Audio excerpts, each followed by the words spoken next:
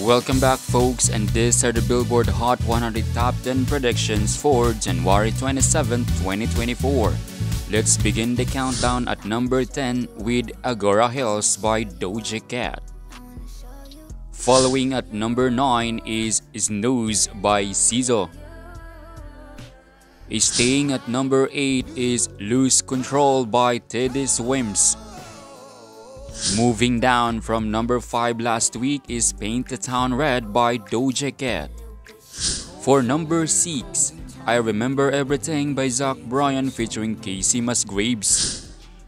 Debuting at number 5 is Redrum by 21 Savage. For number 4, Greedy by Tate McRae.